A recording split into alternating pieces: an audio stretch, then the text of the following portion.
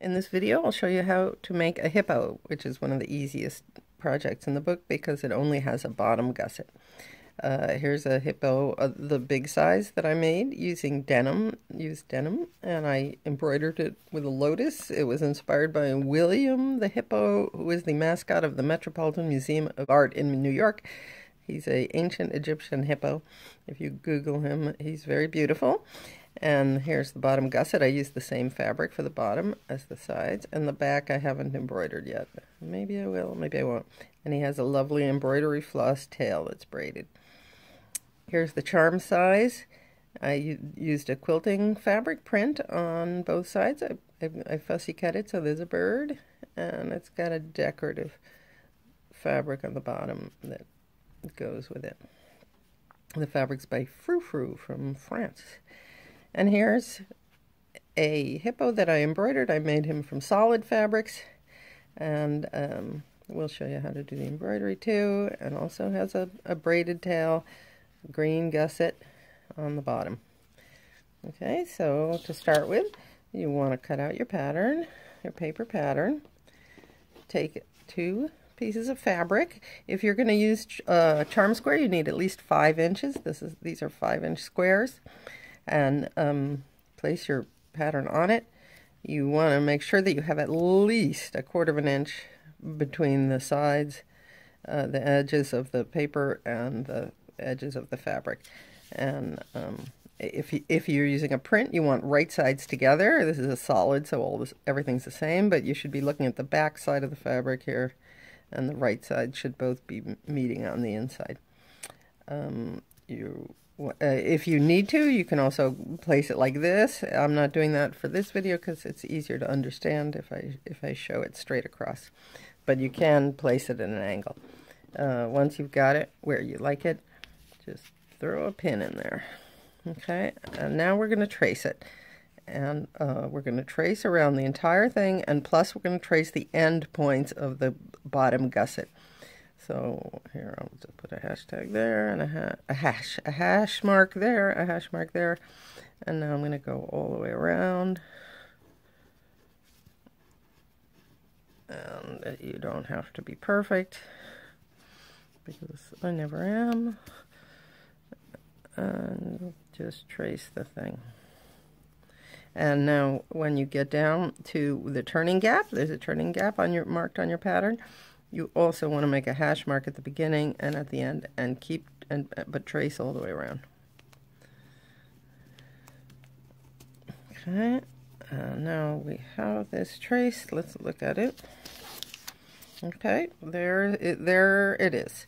And it's just enough fabric there. Make sure there's enough fabric on both layers that you that there's a seam allowance.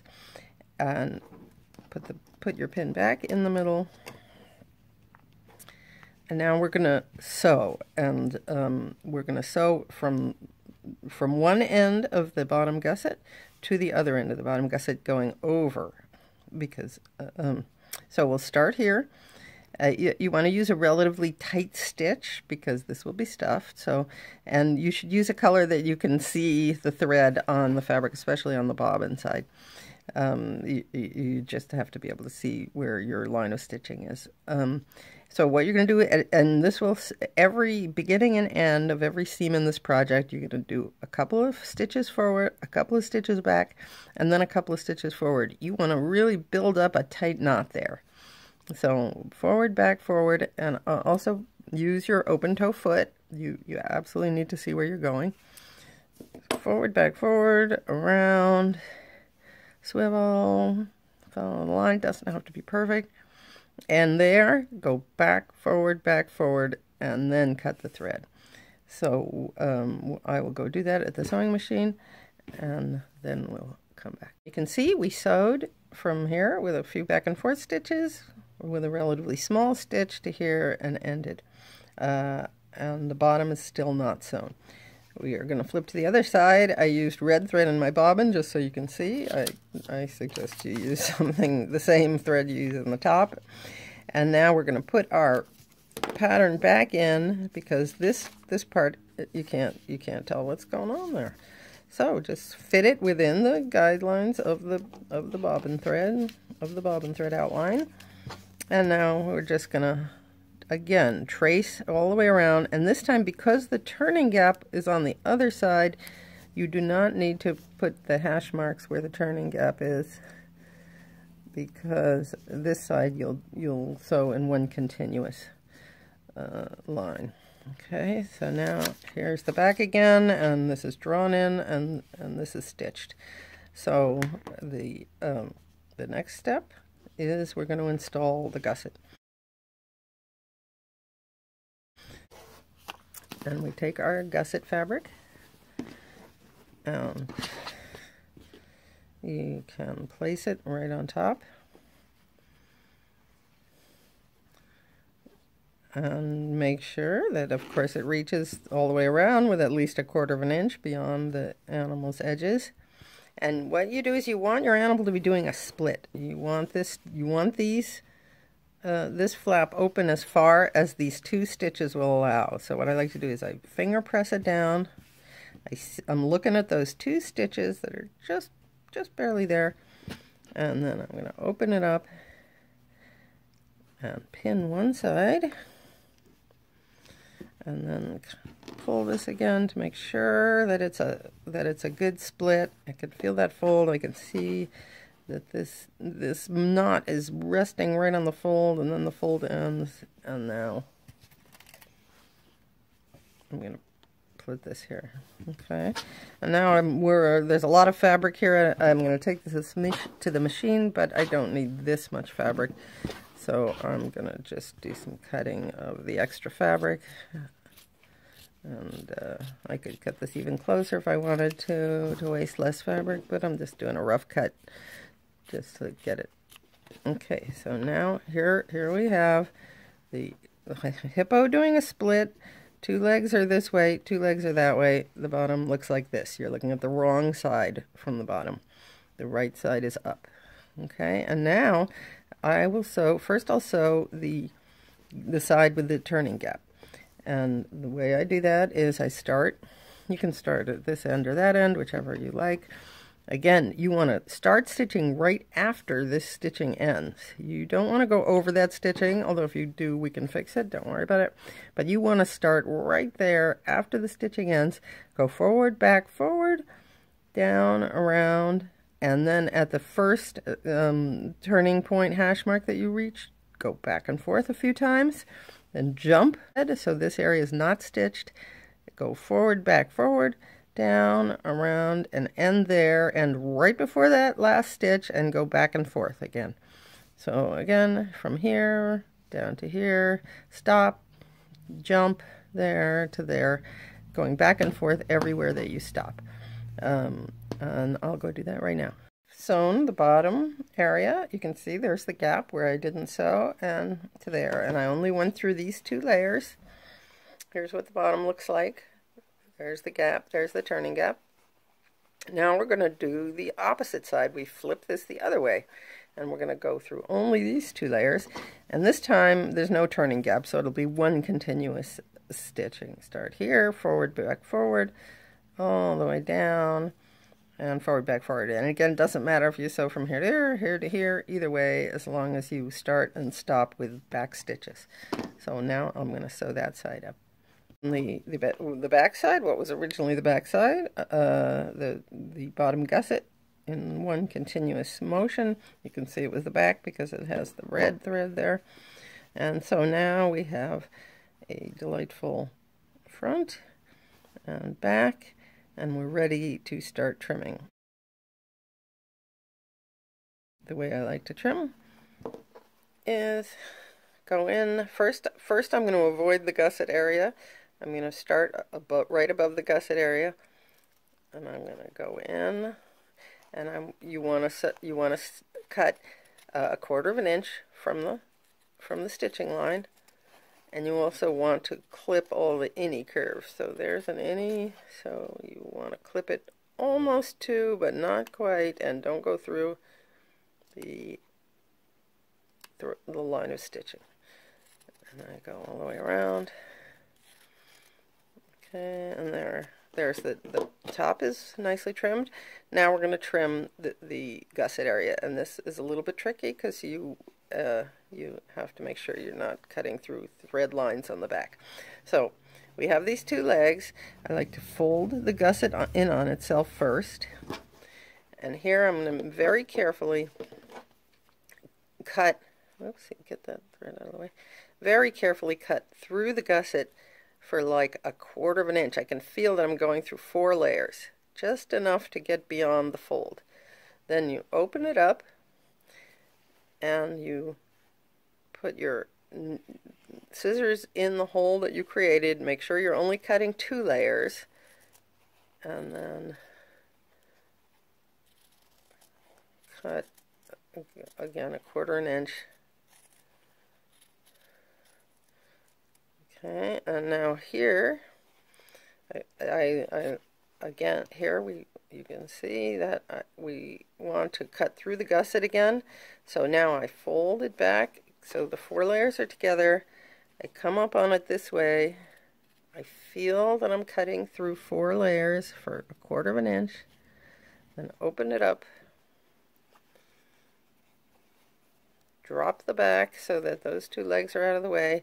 Insert my scissors so that I know they're only through two layers. And then cut away the rest. And now this, these two legs are trimmed. Let's trim these two this side. This side here, uh, now I'm folding the, the first two out of the way. I'm inserting my scissors where I made that snip. I'm cutting a quarter of an inch away. Now at the, at the area in front of the turning gap, I like to leave a lot more seam allowance so that it doesn't fray when I'm hand sewing it shut. So I leave a half an inch, a generous half inch, maybe three quarters of an inch between the turning gap and the um, and the cut my cutting line. And then a quarter of an inch here. And then right here I want to make sure I don't make any mistakes. And again I come up on it so that the gusset is folded snip slightly and then cut through two layers there okay and uh, uh this needs clipping because of the innie points okay and what you will wind up with with any luck is this lovely hippo that is very flat and uh, that can do a split. And the next step will be turning, turning the hippo.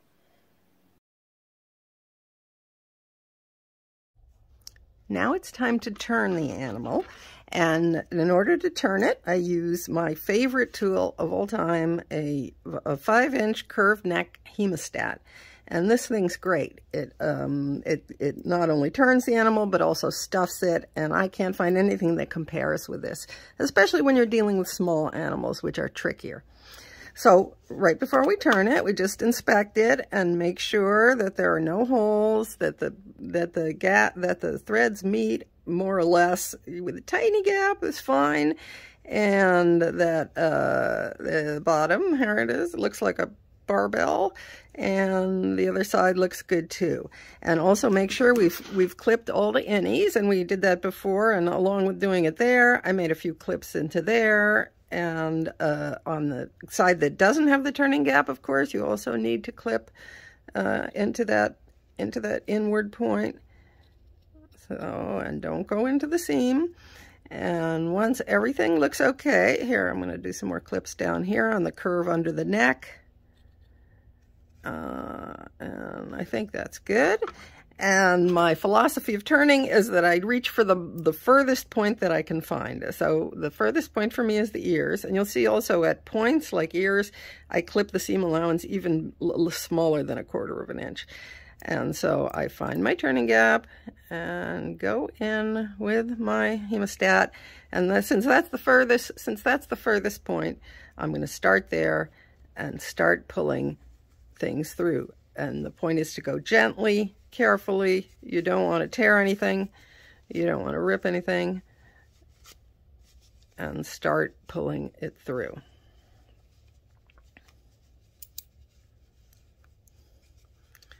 Um, the great thing with a hemostat is that once, if there's something that's stubborn, you can go in again.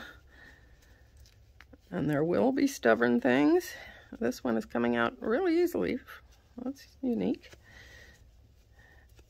Then when you get to, here are some legs, I think, and with the hemostat, you can either go in onto the inside, and from the inside, I like to do this with the hemostat, and that opens things up. So now I'm opening it, opening it, opening it. And that opens it up. And you can also go in from the outside and pull it out. Uh, maybe not in that one, but in this one here, there's a little room. I'm going to go in. And of course, start pulling it out. So you can do a combination of working from the inside and opening, opening, opening to make that expand. Um, you can see the I'm opening it up and working from the outside when you need to and try to get all those seams nicely extruded. There's another foot. So let's see if I can get in there and pull it out. And keep doing this until the whole creature is extruded. And now the whole thing is more or less out and it doesn't have to be smooth around the edges. Once you start stuffing it, the, any remaining uh, areas will, will be pushed outward. You'll make sure to do that.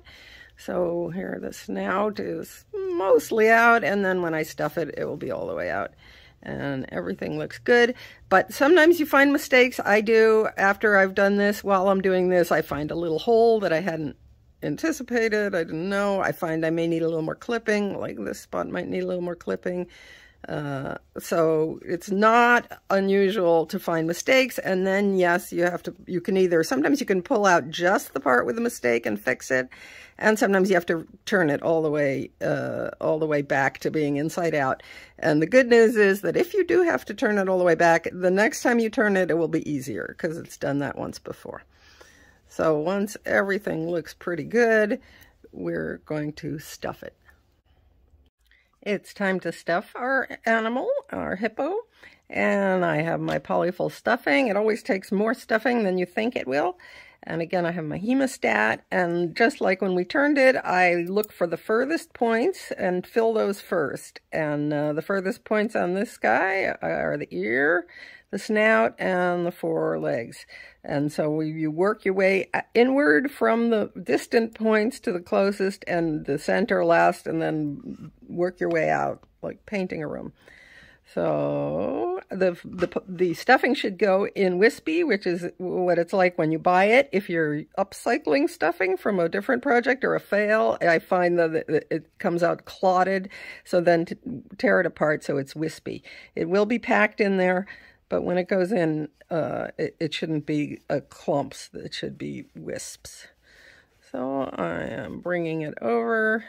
First, I'll get that little snout and the ear.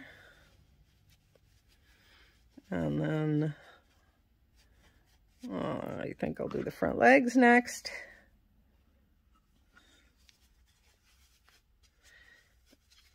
Yeah, I'll do the the one in the in the back, front back leg. That's and uh, the back related to the turning gap. The turning gap's on this side. That leg's on the on the distant side. And then we'll do this leg.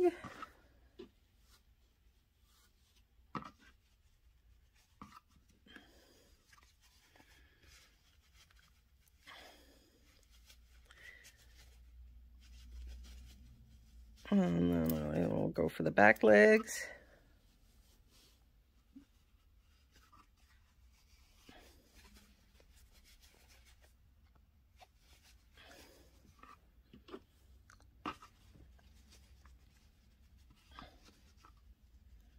And yeah, this does take time. And as you can see, I'm, I'm not only stuffing it, but I'm pushing the seam out further if it needs to be pushed out, which some areas will. Now, and uh, the other thing you want to be doing, not so much with this pattern, but with all of them, is to be pushing the legs down. The legs are going to want to splay out because that's the way the gusset is. But we want these legs to fold. These gussets are all going to have a little fold in them where the legs are.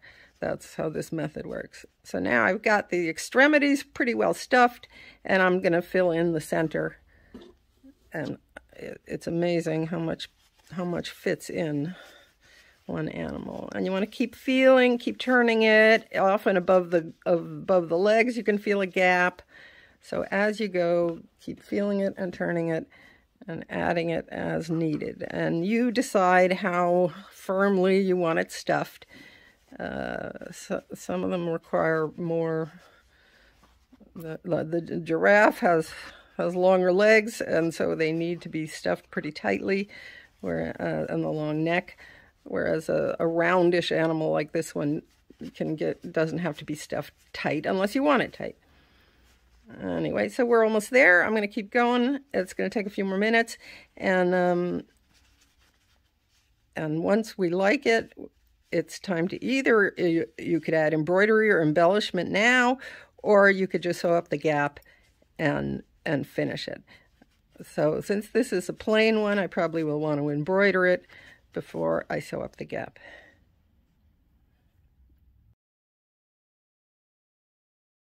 Uh, we'll start with an eye. Uh, here, this eye is a series of straight stitches, one long one in the middle, and then two sh progressively shorter ones on either side. That's a little difficult to do neatly, I find. This I find much easier. It's an asterisk, and it's made with, I start with doing a cross stitch, one stitch this way, one stitch that way, and then one across and one straight up and down. And I'll show you how to do an asterisk on our blank hippo. So start with your, with a long needle, I use a, a single strand because I want to be able to unsew if there's any stitches I need to take out and cut it and and you want to put a significant knot at the end so that it doesn't pop out and I would that means I would do at least two overhand knots and get them on top of each other. So first on my blank hippo I will draw where I want the eye. I think I want it about there and I'll just draw a little cross stitch there. Only I can see it. I drew my asterisk. Um, I have my needle. There's a knot at the end. It's a, it's a single strand. And I'm going to go into the hole that I haven't sewn up yet. If you have a real, the longer the needle, the easier this part is. And then have it come up at one end of your asterisk. Okay and it is going to drag some some stuffing out with it so you just got to fight that battle. So I am going to do a first I'll do a cross stitch. One like this one like this. And then I'm going to come do a straight up and down cross so. There there if you leave it like this it looks like he's dead. It looks like a cartoon character with a crossed out eye.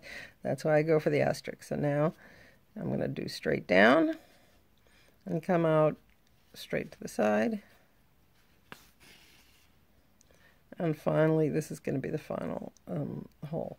And you're going to, uh, you need to decide here if you're going to move on to somewhere else. You might want to move on to make some whiskers, or you might want to move on to make a mane. And if you're not moving on, uh, actually in this case, you're going to move on to do the opposite side. So here again, I'm going to do a cross stitch. One across, one across there. If you, if one of your stitches is the wrong size, you can pull it out because it's only a single strand. Go across there. And over there. Okay, and this is going to be our last insertion. So now, if you're if you're not going to use this green thread on anything else uh, to make anything to embroider anything else, you can tie a little knot, and I do only one overhand knot because we're going to pop this through the surface, and then you can either come out your hole, bring it out your hole, and pop the knot through the surface, or if your hole isn't open or you just um, don't want to reach that far, you can find a try to find an inconspicuous space pull it out, and then heard that, then we pop the knot through the surface, and now we can, wherever the, wherever the thread is emerging, be careful, don't clip the fabric, and then massage the ends back in, just like quilters do with a hand, hand quilted quilt. So here we now have these cute little asterisk eyes. Uh, and now let's talk about doing some embroidery on the side. why not? Um, I like to. I, I find that I need to draw it. You you can do it freehand if that's if you're good at that kind of thing. Just just make something up as you go along. Uh, but I usually need to draw something. So let's draw. We'll draw a vine. Um, we'll draw some feathers. Feather. Feather. Feather. And feather. And now you can use whatever your favorite stitch might be. I, I like to use a back stitch for this, this uh, very simple project. So again, I'm gonna, I have, I have a knot at the end. I should make it a little bigger to make sure it doesn't come out. Oops. And you want your knots on top of each other. There we go. And we're gonna go in there. Start at the bottom. Start anywhere you want. And then I take a small stitch. Then I move ahead a bit. And then go back in the hole where the last stitch ended. And then go, I'm going to do this, this part of the vine. And keep going like this. Whoopsie, the thread will always wrap around a leg and keep going. You get extra credit if your stitches are more or less the same length. I don't, I don't usually get too much extra credit. And keep going. And so forth. And this guy's going to curl in on himself, this, this vine.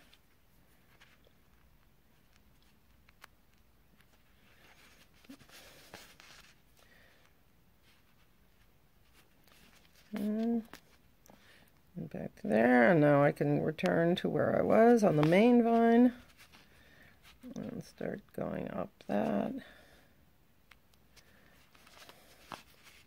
and so forth and you keep on going and when then again when you're when you're done when you have or when you're about to run out of out of thread like I am here make a make a knot about an inch from the or a half inch to an inch from where the thread emerges. Send it down to where you need it to go. And here, in this case, we're right near the hole, so we can come out the hole. Pull. That's it. Knots under there. Trim this off and start again with a new with a new thread. Of course, if you know any fancy embroidery stitches or you have a book of embroidery stitches, this is a great place to play with them. Uh, again, here's the hippo that I embroidered uh, these are mostly uh, uh, back stitches and then I wrapped around each stitch uh, with a variegated thread so it looks really pretty. You can see that here. I used a dark purple to do my straight stitches and then I wrapped around them with a lavender thread. Here's a bunch of French knots.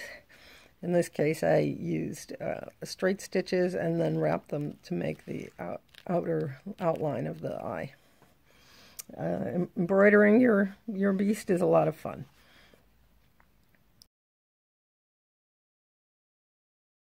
Now we're going to sew up the gap in the hippo. Uh, if you have a big hippo, this should be really easy. With a charm hippo, it'll just be a little trickier because there's less area. I'm using, you, obviously you should use a thread that blends. I'm using one that, will, that you can see on the video. I have a significant knot at one end, single strand, so you can back out if you make any mistakes. And uh, the easiest way to sew, sew up your animal is with a whip stitch. So you go in and you want to hide your hide your knot inside. So you push that knot inside if it needs to go in. And then you can just, with a whip stitch, you just catch two, a little bit of one side and a little bit of other of the next side, just a couple of threads. And you go around and then do it again, just going across a tiny bit, catching a tiny bit with each each time. That's the probably the most conspicuous stitch. Uh, it does the job, but you you can see it. Although if it's a, bl a blended thread, it won't show much. Uh, my my favorite, my personal favorite for sewing these guys up is what I call a lacing stitch. and with that stitch, you you come in from, you approach each side from underneath, and you have to turn the animal with each stitch. So then I turn it.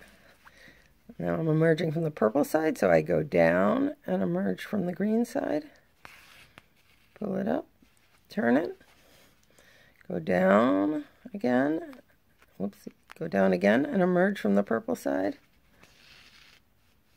Turn it, go down, emerge from the green side. I just like the way it lays, and I, it looks like the animal has had surgery, and his surgeon has carefully stitched up his wound. Um, the most invisible stitch is a blind hem stitch or a ladder stitch, and with that one, it's also tricky, and the legs tend to get in the way, so I rarely do it for these animals. If I were entering them in a show or they needed to be perfect for some reason, I would, but uh, so here the thread is coming out of the purple side. I go directly across. I travel through the seam allowance of the green side, a scant, I don't know, an eighth inch or so. Come out and then go into the opposite side. Travel again for like an eighth of an inch through the seam allowance of the purple side. Come out. Oops. Come out and then keep going like that, going straight across through the seam allowance, coming out, and straight out through the seam allowance and coming out. And you can see that this is a very, this hides the thread really well. Um, I don't know that it's the strongest. I would suspect that a, whip stitch would, or a ladder stitch would be stronger. But um, I mean, a whip stitch or a, or a lacing stitch. Uh, so it's up to you, whatever whatever stitch you like and you're comfortable with. Um, it is annoying that the legs always get in the way and the thread always wants to wrap around. When you're ready to finish, when you're done, I, I do two tiny stitches in place because um, we want this to be really secure. And then with the last, the loop of the second one, I go through twice. One, two. I tie a couple of overhand knots about an inch or a half an inch from where the thread exits. That's less than a half an inch. That's okay. Okay, so I have, there's two, but they're not quite on top of each other. Let me get them on top of each other. I got a significant knot there, and I'm going to go back into the beast right next to where it emerges and pick a random location popped it under, it went under the surface. And now hold that down, clip it, be careful not to clip the fabric. And massage the ends in, and there you go. Uh, with your blending thread, you shouldn't be able to see the stitches as well as I can see them here.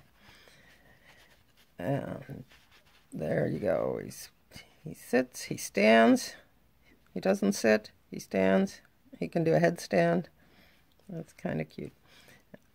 Um, he, he needs more embroidery. If you want to do more embroidery, you absolutely can. Just pop the knots into, because with this is sewn up, you're going to have to pop your knots. I, I find popping them through through the bottom, uh, that's the most inconspicuous area. If you if you do it through here, you might risk having either a hole or a run in the fabric. So if there's going to be a run, we'd rather it's down here than up on the on the very conspicuous sides just a final word. Uh, there are so many possibilities for the hippo because his side is broad. You can fit a lot on it, and you already saw this lotus embroidery inspired by William the Hippo. And you saw the bird. This is a novelty fabric, not embroidered. Here I used a beautiful print, and I cut it so that the eye, uh, a, a, part of the print that looks like an eye would be over there. Of course, I didn't do that on the other side. You, you should probably do the same thing on both sides, but I didn't. Never mind. Uh, here I put a giant flower on one side, and this is a uh, vintage applique, a vintage fleur-de-lis applique, and I just couched it in place. Uh, and here he's got little button eyes. Of course, you do not put button eyes on any gift that's intended for a small child. They will choke on them. Uh, it's very dangerous, so stick with embroidered eyes if this is a gift for a young child.